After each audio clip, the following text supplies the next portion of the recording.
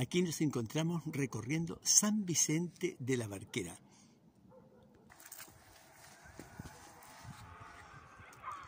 Bueno, pues en su tiempo esta conocida villa ya medieval que conserva hasta el día de hoy sus murallas, em, es todo un complejo turístico ya de esta zona.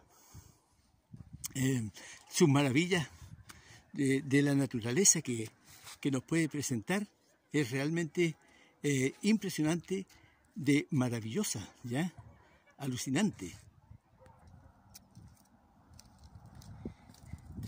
Miren, aquí nos, encontramos en la parte de atrás de esta catedral, ya de Santa María de los Ángeles, aquí en San, Vicente de la Barquera.